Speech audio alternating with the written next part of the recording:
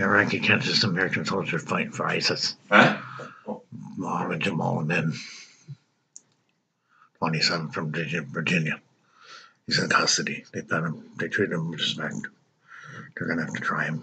It's going to be tried. It's going to have to be tried. No, whether it's going to be in Iraq. It's probably going to be in the U.S.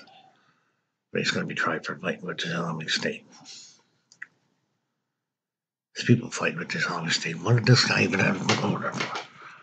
Mohammed Jamal Amin.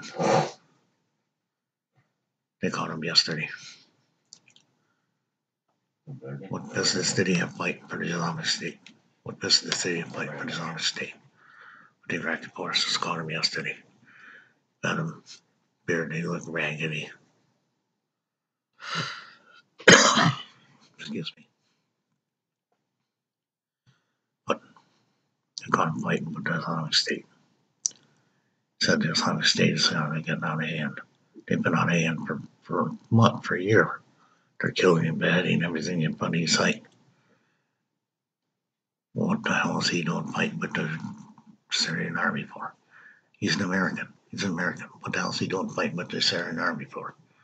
Not Syrian army, but Islamic State in Iraq. What the hell is he doing fighting with Islamic State in Iraq? Sorry about the Syrian remark. Nothing to do with this video. But they caught him. They caught him. Are they going to turn him over to the Americans? Probably. But they caught him. Mohammed, Mohammed Amin, American born in Virginia, fighting in Iraq for the Syrian army.